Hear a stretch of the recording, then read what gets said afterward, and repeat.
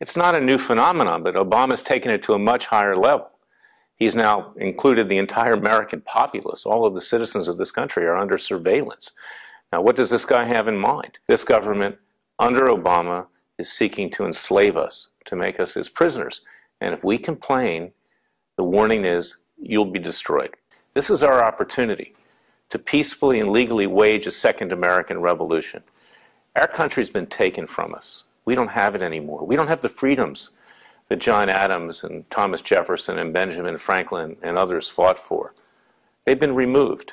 And this is the chance to peacefully use the courts to try to take the country back. Now, if these judges who are appointed by the establishment here in Washington, federal judges, don't follow the law, then we're back to 1776, God forbid.